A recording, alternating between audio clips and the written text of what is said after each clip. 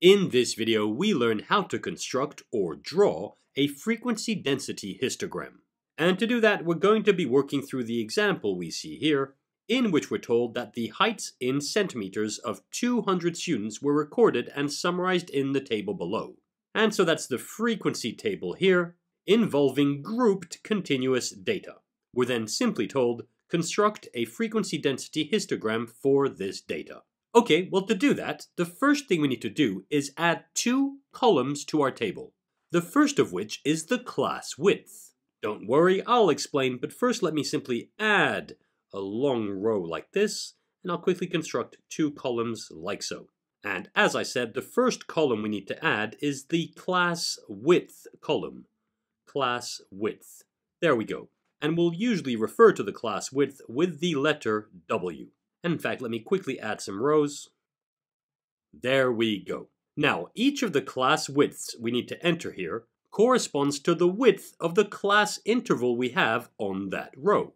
So for this first class interval from 150 to 155 centimeters, the class width here would be equal to 5. And just to be clear, I'm getting this 5 by subtracting 150 from 155. And so let me quickly write that. That's 155 minus 150, which of course equals to 5. And so doing the same thing for each of the rows we have inside our table, the next class width would be 160 minus 155, which would be 5 again. We'd then have 170 minus 160, which would be 10. Next we'd have 180 minus 170, which would be 10 again. And finally, we'd have 200 minus 180, which would be 20. There we go, we now have all of our class widths. Finally, the last column we need to add to our table here is for the frequency density, and I'll just write that frequency density. And each frequency density inside this table corresponds to the value we obtained by dividing the frequency of that row by the class width of that row. And in fact, alongside frequency density here, we'll often write F over W, as in frequency divided by class width. And I could go ahead and write an F here next to frequency, just to specify that's where I'm getting the values of F from. So here's how that works. For this first frequency density, I need to divide the frequency 7 by the class width 5. And by all means check, but 7 divided by 5 is equal to 1.4. On the next row, the frequency density will be 18 divided by 5, which is equal to 3.6. On the next row, we'll have 45 divided by 10, which is 4.5. On the next row, we'll have 57 divided by 10, which is 5.7. And finally, for the last frequency density we need, we'll have 73 divided by 20, which is 3.65. Done. These frequency densities, as well as the class intervals we have for the height here, are all we need to construct the frequency density histogram. And so here's how to do that. On the right hand side of the screen here, you've no doubt noticed that I've already drawn some axes all ready for us to draw the frequency density histogram. So let's go ahead. The first thing I'll say is that we'll always use the horizontal axis for the variable that's being observed. And in this example, we're observing people's heights. So this horizontal axis represents the people's height, so I'll just write h, and that's the heights in centimeters. So I'll write that here, height in centimeters. The vertical axis, on the other hand, will always represent the frequency density. And so at the top of the axis here, I'll go ahead and write f over w, which as we said before, is the frequency density. Okay, now on the horizontal axis, the values I'll be considering go from 150 all the way up to 200. And so I'll write a 150 here. And so carefully selecting a scale here, we should find that this fits. I'll have 150, 160, 170, 180, 190, and 200 right there. Notice this little symbol here on the horizontal axis, which tells us that we've cut or truncated the axis so that we could start directly at 150. Now, on my vertical axis, which remember is the frequency density, the maximum frequency density I have is 5.7, so I'll make sure I can go up to 6. And so I'll say I have 1 here, 2 right there, 3, 4, 5, and 6. There we go. And all we have to do now is draw the frequency density histogram. And for that, remember, the only two columns we need to focus on are the height, which I'm boxing right now, as well as the frequency density, which I'm boxing as well right now. There we go.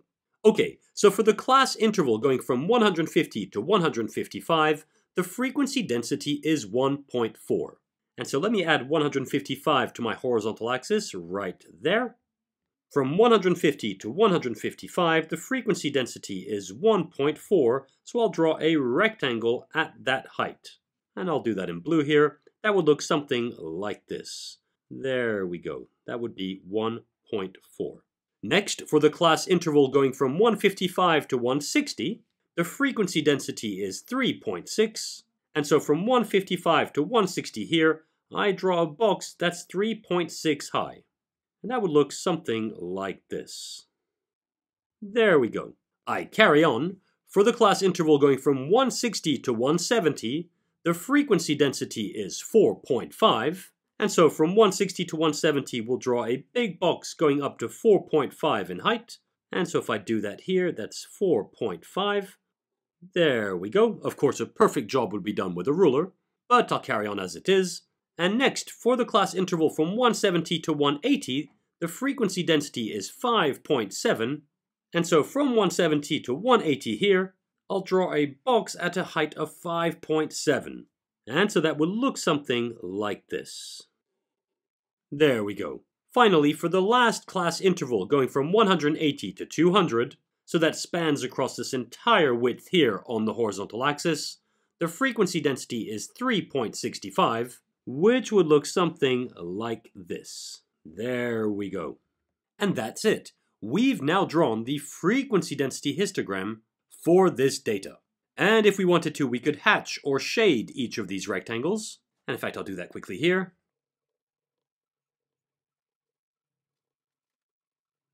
There we go. Now there are a couple of things worth pointing out about this frequency density histogram. The first of which is the fact that in a histogram or a frequency density histogram, the rectangles we have are all touching. In other words, there's no gap in between each of these rectangles. And that should always be the case. Indeed, the fact that these rectangles touch the way they do tells us that we're dealing with continuous data and highlights the fact that we're not dealing with a bar chart here, instead, we're dealing with a histogram, or more specifically in this case, a frequency density histogram. The second thing I'll point out here is something that you've no doubt noticed already, and that is that the class widths aren't always equal in a frequency density histogram. Indeed, when finding the class widths earlier on, we found two class widths of 5, 2 of 10, and 1 of 20. And that results in having rectangles of different base. In other words, these rectangles don't always have the same width.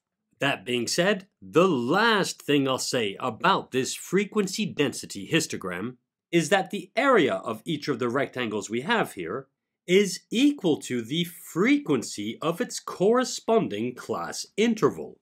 So, for example, if I were to calculate the area of this rectangle, which as we can see spans over the class interval from 170 to 180 centimeters, and in fact I'll write area, area, well that would be equal to the base of the rectangle, which is 10, and so I'll just quickly write 10, times the height of that rectangle, and its height, well remember, that was 5.7. Indeed, that was the frequency density we found for the class interval 170 to 180. So the height of this rectangle is 5.7, and so the area is equal to 10 times 5.7, which is equal to 57, which as we can see right here, in fact I'll circle that in green as well, is equal to the frequency for that class interval. There we go. And the same could be said for any of these rectangles and its corresponding class interval. And in fact, let's consider a quick second example. Let's say we didn't have this frequency table, but we were given this frequency density histogram. and we were asked how many people measured between 160 and 170 centimeters. Then all we'd have to do to answer that question is calculate the area of the rectangle that spans over that class interval. And we quickly realize that since the class width here is 10, in other words, the base of the rectangle is 10, and because the height of that rectangle is 4.5, its area would be 10 times 4.5, which is 45. And so we could say that there are 45 people measuring between 160 and 170 centimeters. And there we go. That's it for this tutorial on how to construct or draw a frequency density histogram.